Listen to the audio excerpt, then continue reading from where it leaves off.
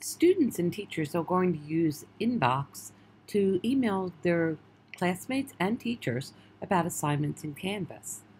On your global navigation bar, you'll find your inbox. You have a choice at the top for all courses or your favorite courses, which are the ones that are starred on your dashboard, or more courses if you have a course that you haven't starred but is still on your dashboard. I can leave it at all courses. I want to click the pencil icon to compose a new message. When I choose my course, you'll be able to email any of the teachers or students that are attached to that course. I can put in my subject line. If I am sending to multiple students or teachers, I might want to send an individual message to each recipient.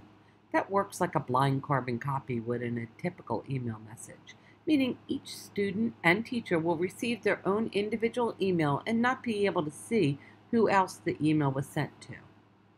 If you don't want that and you want one group email that threads down with lots of different messages on it, you wouldn't check the box. I would type my message. I can select the paper clip to add an attachment, or I can select to record an audio or video component right in my email message. When I'm done, I click send. In my inbox, I can see my inbox, my unread, my starred message, anything that's sent, and change my messages around. In this inbox, you can see that there has been no correspondence. So there's nothing there yet.